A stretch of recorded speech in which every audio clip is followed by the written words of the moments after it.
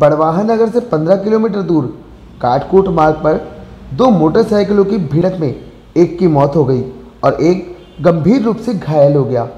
प्राप्त जानकारी के अनुसार सोहन, पिता हैर सिंह निवासी पीपरी एवं कन्हैया, पिता भंवरलाल, निवासी खमकी बारुल की मोटरसाइकिल आमने सामने भिड़ गई। दुर्घटना इतनी भीषण थी कि कन्हैया की मौके पर ही मौत हो गई और सोहन गंभीर रूप से घायल हो गया, जिसे इंदौर रेफर किया गया। बड़वा से ज्ञान प्रकाश शर्मा की रिपोर्ट। देखते रहिए आपका अपना यूट्यूब चैनल आंचलिक खबरें। अपनों की खबर आप तक।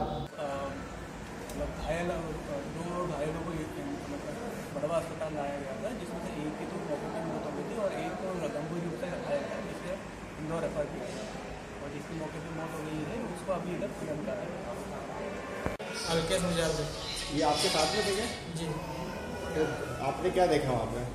हमारी गाड़ी आगे थी उनकी गाड़ी पीछे चल रही थी।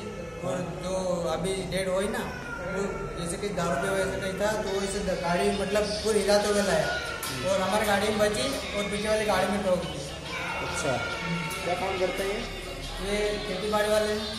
अच्छा और मैकेनिक हाँ खेती बाड़ी मैकेनिक और किराना दुकान है। डॉक्टर ने क्या बोला? डॉक्टर ने तो बोला कि एंबुलेंस आएँगे तो आधा घंटा लगेगा।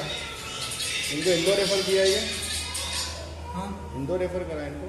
हाँ इंदौर रेफर करना पड़ेगा बोले डॉक्टर यहाँ तो इलाज नहीं होगा अभी तो है पट्टा पट्टी का नहीं बस दूसरे कुछ।